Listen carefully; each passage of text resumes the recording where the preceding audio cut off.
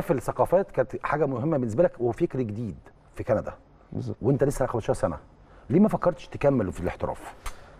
أه بصراحة أنا يعني ال ال ال- العيشة عامة هناك بره أنا ما ما استريحتش فيها أنا ك ككريم. آه.